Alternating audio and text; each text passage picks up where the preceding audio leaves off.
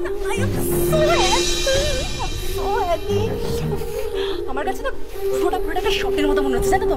এই social media আমাদের গানটা এতটা হাইপ পাওয়া আমাদের ছুটিটা অডিয়েন্সের কাছে এতটা অ্যাকসেপ্টেবল হয়ে যাওয়া কোনো সময় আমি তোমাকে বলে বোঝাতে পারব না একটা স্বপ্নের মতো শোনো আমি আমি তোমাকে একটা কথা বলছি। খুশি। এরপর থেকে আমরা যতগুলো গান গাইবো আমরা কিন্তু প্রত্যেকটা গান একসঙ্গে গাইবো। তুমি আর অন্য কোনো ফিমেল সিঙ্গারের সঙ্গে গান গাইবে না। না না তুমি তোমাকে তোমাকে প্রমিস করো তোমাকে প্রমিস করতেই হবে। না না তুমি আমাকে তুমি বলো খুশি কি হচ্ছে?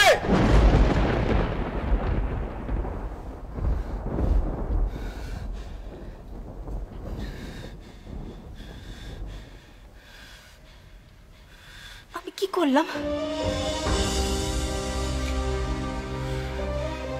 এরকম ভাবে উচ্ছ্বাস দেখানোর কোনো মানে হয় না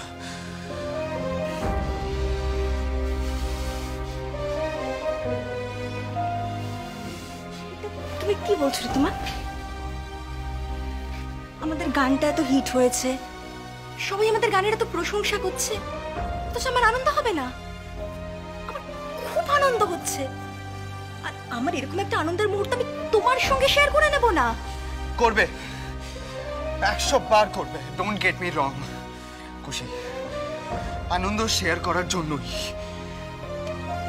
আমার আনন্দ শেয়ার করাতে কোনো আপত্তি নেই। কিন্তু শেয়ার করার ধরনটাতে আমার আপত্তি। আনন্দ অনেকভাবে শেয়ার করা যায়। কিন্তু এইভাবে নয়। অ্যাটলিস্ট আমার তাই মনে হয়। কেন নয়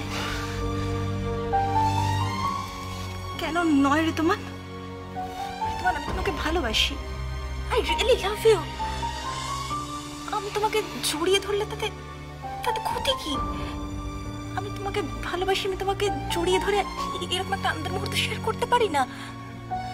আচ্ছা আচ্ছা তোমার আমরা এখানে কেন দাঁড়িয়ে রয়েছি? আমরা তো তোমার ঘরে গিয়ে বসতে পারি। না, আমরা পারি না। বাড়িতে মা নেই বাবা নেই আমি একা। আমার সামনে এক্সাম তুমি যাও প্লিজ তোমার আমার দুজনের সময় নষ্ট করো না খুশি। শুধু গান বাজনা নিয়ে কথা বলার জন্য। গান বাজনা নিয়ে কথা বলার হলে আমার এক্সামের পরে বলব আমরা। এখন প্লিজ যাও।